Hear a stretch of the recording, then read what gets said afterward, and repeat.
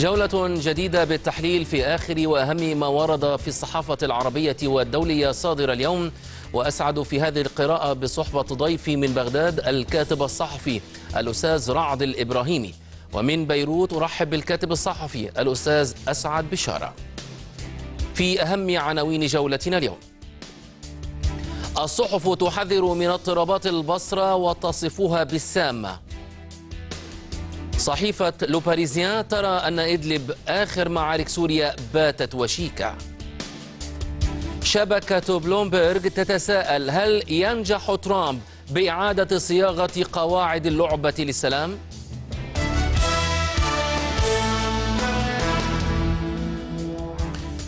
البداية من صحيفة الإندبندنت ومقال بعنوان احذروا اضطرابات العراق سامة وقد تذهب إلى المنطقة بأكملها. ويرى كاتب المقال أن أسباب الاحتجاجات التي تعصف بالبصرة منذ فترة واضحة وهي أن العراق تحكمه نخبة سياسية مصابة بهوس السرقة تدير أجهزة الدولة كآلة للنهب. ويشير الكاتب إلى أن الأزمة تأتي في وقت سيء على وجه خاص في العراق حيث تعثرت الكتلتان السياسيتان الرئيسيتان في تشكيل حكومة بعد الانتخابات البرلمانية التي جرت في الثاني عشر من مايو الماضي.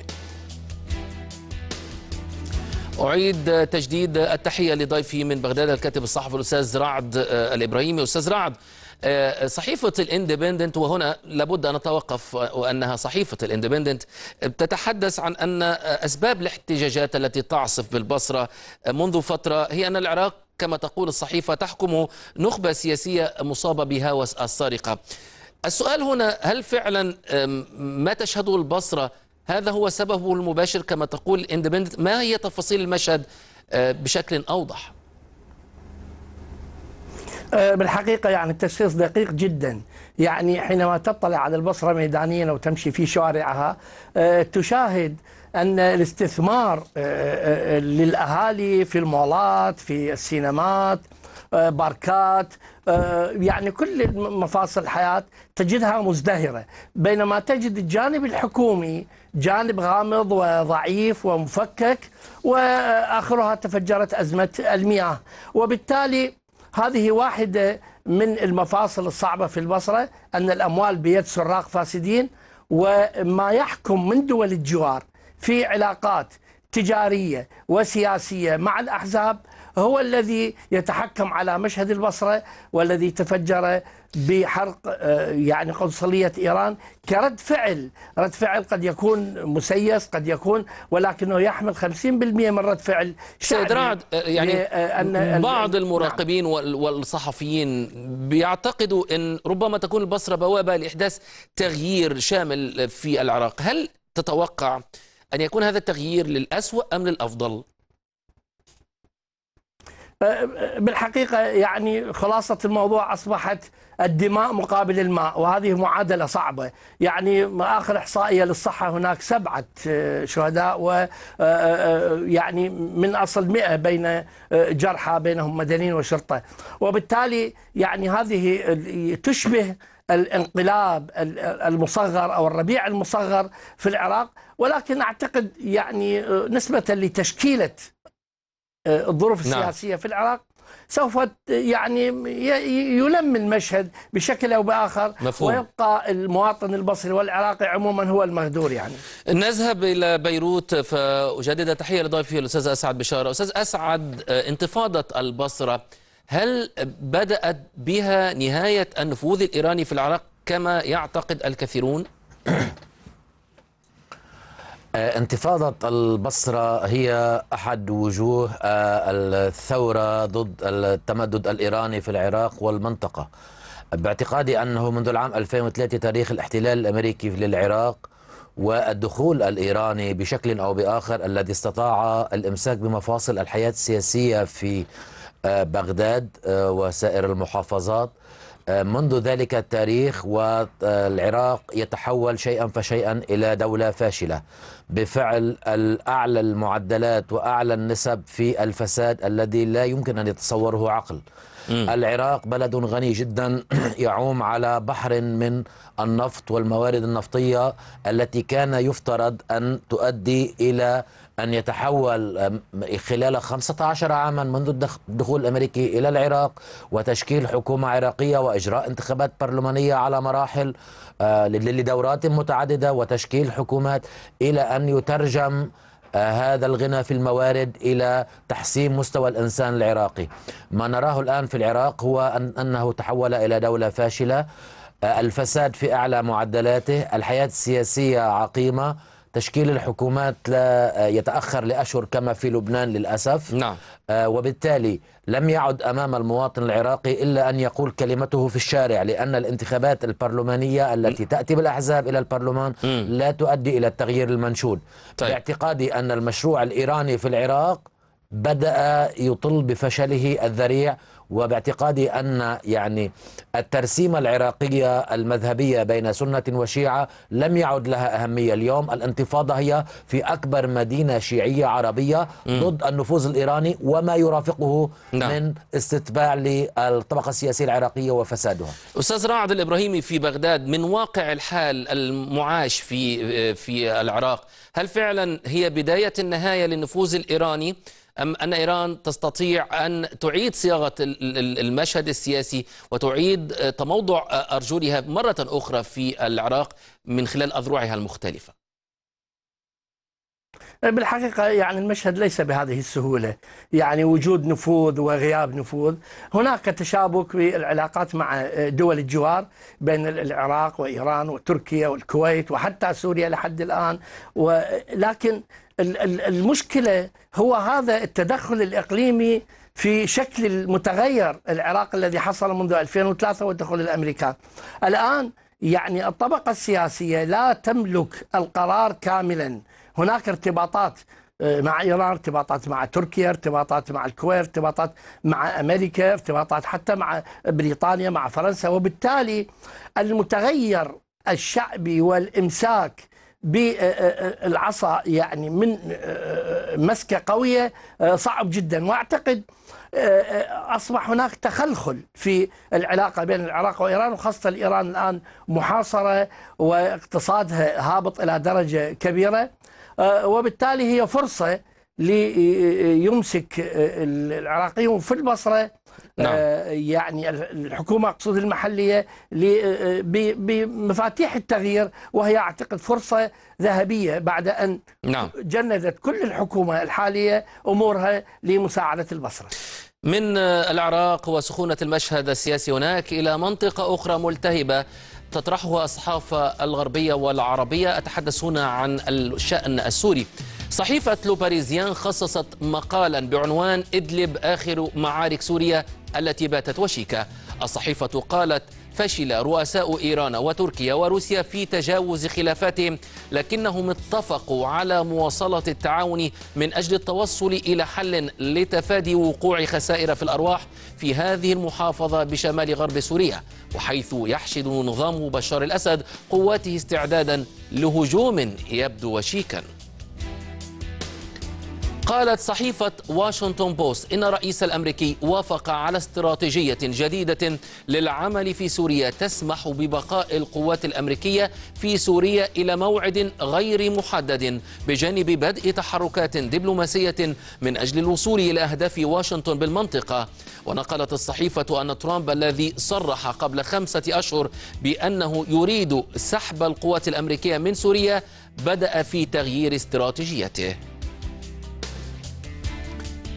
في بيروت أسأل الأستاذ أسعد بشارة هل معركة إدلب آه، أستاذ أسعد باتت وشيكة كما آه، تشير صحيفة لوباريزيان بعد فشل رؤساء إيران وتركيا وروسيا كما تبعت آه، لعلك بالأمس بعد فشلهم في تجاوز خلافاتهم. كما أيضا تذهب صحيفة لوباريزيان يعني طبعا لنتائج القمة الثلاثية بالأمس يمكن القول أن هناك إصرارا روسيا على أن يبسط النظام سلطته في إدلب آه، وأيضا بنفس الوقت الإصرار الإيراني آه، تتوحد يتوحد الهدفين بين إيران وروسيا بالنسبة لآخر المحافظات الخارجة عن سيطرة النظام طبعا باستثناء شرق الفرات الذي هو منطقة نفوذ أمريكية وبعض النقاط على الحدود العراقية السورية. آه، بالتالي نحن نتحدث الآن عن عدم قدرة تركيا على منع هذا الهجوم ونتحدث في الوقت نفسه عن وجود تركي عسكري مباشر أو غير مباشر في إدلب وطبعا تأثير على بعض الفصائل المقاتلة هناك. بالتالي كيف سيكون هذا الهجوم هل هناك ربط نزاع ما بين الموقفين الإيراني والروسي من جهة والموقف التركي هذا ما سنراه في المرحلة المقبلة لكن م. على الأرجح فإن آه، آه، إداء بوتين آه، يثبت بالأمس أن هناك إصرارا على خوض هذه المعركة وبالتالي ما ذهبت إليه لباريزيان هو آه، في سياق الواقع المعاش في سوريا. آه، قبل إدلب نعم. لم يعد إلا هذه المحافظة. بعد إدلب إذا ما استطاع النظام بمساعدة إيرانية وروسية أن يدخل إلى المحافظة يكون قد وصل حماة بحلب. وتبقى منطقة الشريط التركي آه، موجود ومعترف به تركيا آه، روسيا وإيرانيا. م. طبعا تبقى منطقة شرق الفرات. يعني هذا يمكن تصوره بأنه بعد معركة إدلب الترسيم النهائي م. للواقع الجيوسياسي في أنا سأعود إلى فكرة الترسيم وهذا ملمح مهم لكن بعد أن أذهب إلى أستاذ رعد الإبراهيمي في بغداد. أستاذ رعد وهذا سؤال باعتبار أن العراق له تجربة كبيرة. مع تدخل الولايات المتحدة الأمريكية هل تعتقد أن تدخل الولايات المتحدة الأمريكية على خط المواجهة في سوريا بسبب إدلب آه، في ظل عدم وجود استراتيجية واضحة لواشنطن في سوريا؟ يمكن أن يحدث تغييرا.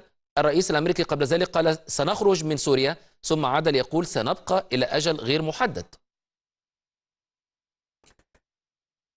آه، طبعا آه، أمريكا يعني جاءت لتبقى وبالتالي هي يعني الآن المتسيدة في الشرق الأوسط وروسيا ليست لديها فرصة إلا هي فرصة آه، سوريا. آه، لذلك هذا يعني التعبير قد يكون استراتيج هناك استراتيج مخفي أن سيطرة أمريكا على يعني علاقتها بدول الخليج علاقتها بالعراق قوية ومتينة تملك أكبر سفارة في الشرق الأوسط. وبالتالي خططها وأيضا استخدام الجو لقصف المقاتلين. أنا أعتقد أن الدرس الأمريكي يعني قد يكون له حصة قليلة في سوريا ولكنه لن يترك أدلب ولن يترك سوريا نهبا للنفوذ الروسي والإيراني. خاصة وأن إيران تمد الفصائل في سوريا وفي لبنان وتقف ندا لإسرائيل وبالتالي هنا يبرز الدور الأمريكي الذي يدعم إسرائيل ويدعم كل حلفائه في الشرق الأوسط.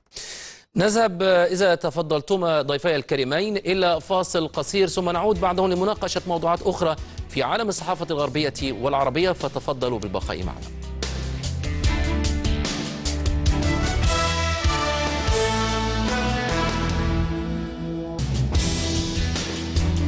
أهلا بكم مجددا ومتابعة مرة أخرى وقراءة مستمرة في الصفحة الأولى عبر شاشة الغد. وأذهب إلى ضيفي في بيروت الأستاذ أسعد بشارة أستاذ أسعد كنت أشرت في معرض إجابتك السابقة إلى ما بعد إدلب ما هو شكل حال سوريا بعد إدلب؟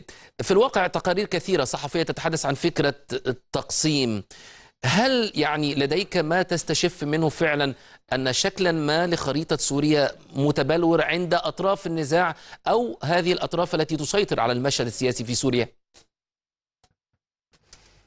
تماما يعني المنطقة التي يأخذها النظام هي منطقة نفوذ إيراني روسي مشترك لا أعرف آه، كيف سيتم التقسيم الروسي الإيراني ولكن آه، روسيا بالطبع تفاهمت مع إسرائيل على أن لها حرية العمل المطلق في سوريا وهذا ما يترجم من خلال قصف الإسرائيلي المستمر لمواقع إيرانية داخل هذه المنطقة وصولا حتى الحدود الأردنية م. الأمر الثاني أن تركيا طبعا بموجب غطائها للأستانة ومشاركتها في الأستانة بالتنسيق مع الروس والإيرانيين أيضا ضمنت لنفسها الشريط الجغرافي الملاصق لحدودها الذي يهمها في موضوع المسألة الكردية بالتأكيد القرار الأمريكي لم يفاجئ أحدا بالاستمرار م. بالتواجد العسكري شرق الفرات لأن الولايات المتحدة الأمريكية أقامت بنية تحتية عسكرية كبيرة جدا حوالي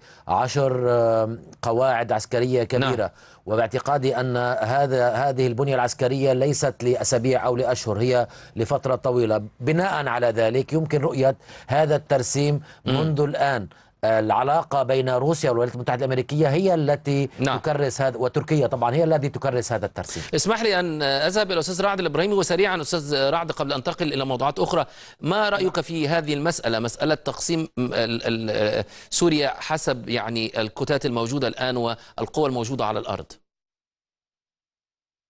يعني أنا أعتقد بتوصيف سريع. إدلب هي القفص الأخير ل 3 مليون من السكان. وهناك اختلاط بين مقاومة حقيقية وبين قاعدة. والأدهى من ذلك هو بقاء الأسد في نظام الحكم على العكس من أي متغيرات في المنطقة العربية. وبالتالي الحصة الأكبر ستكون للأسد وروسيا مقابل الحصة يعني الأقل لإيران. وفتات ما تبقى إلى تركيا التي تخشى من النزوح الكبير على حدودها. نتابع القراءة مشاهدي الكرام ونذهب إلى ما نشره موقع بلومبرج الذي نشر تقريرا يقول فيه أن أمريكا تزيل القضايا الرئيسية في الصراع الإسرائيلي الفلسطيني واحدة تلو الأخرى من طاولة المفاوضات مشيرا إلى أن إدارة الرئيس الأمريكي دونالد ترامب تقول إنها تحاول تبني نهج آخر بعد فشل ربع قرن من محادثات السلام. ويشير التقرير إلى أنه من خلال إزالة القضايا التي تهم الفلسطينيين عن الطاولة فإن الإدارة تجعل التوصل إلى سلام أمرا أكثر صعوبة.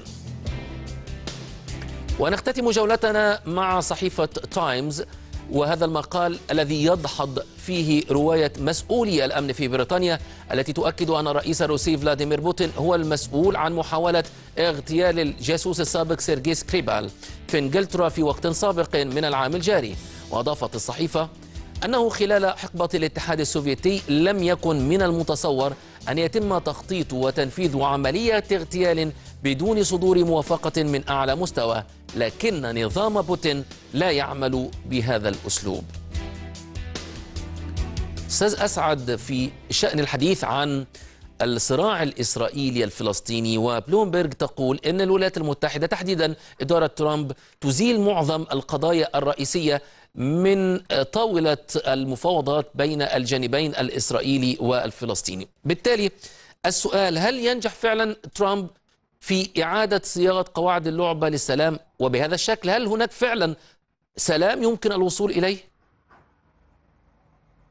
لا بالطبع هذا ليس سلام هذا سيكون استسلام للأمر الواقع يعني إذا أنت آه، وضعت قضية القدس جانبا وإسرائيل فرضت آه، أمرا وقائع وحقائق لمصلحتها. لا يعني هذا الموضوع أن الجانب الفلسطيني قادر على أن يوقع اتفاق تسوية من دون القدس. إذا وضعت عملية الترسيم النهائي للدولة الفلسطينية التي يفترض أن تولد بموجب مؤتمر مدريد فإنك لا يمكن أن آه، تملي على الجانب الفلسطيني أن يقبل. أيضا بموضوع الاستيطان وموضوع ربط الضفة بغزة وكل المواضيع السيادية التي يمكن أن يتفاوض الفلسطينيون على أساسها لولادة دولة فلسطينية حقيقة حقيقية وليس مجرد أراضي يقام عليها حكم ذاتي فلسطيني مشتت ومقطع جغرافيا.